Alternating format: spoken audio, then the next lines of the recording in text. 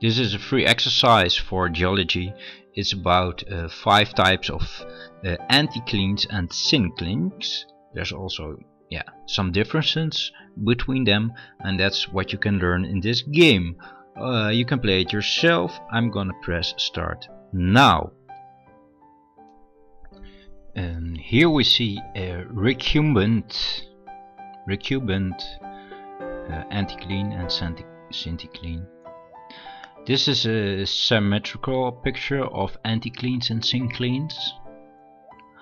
Here we see an overturned anticline syncline form. This is an asymmetrical one. And this is an isoclinical one.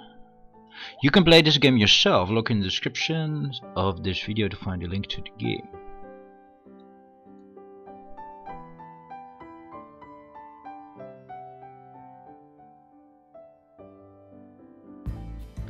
Thank you for watching the video. Please don't forget to subscribe to my channel.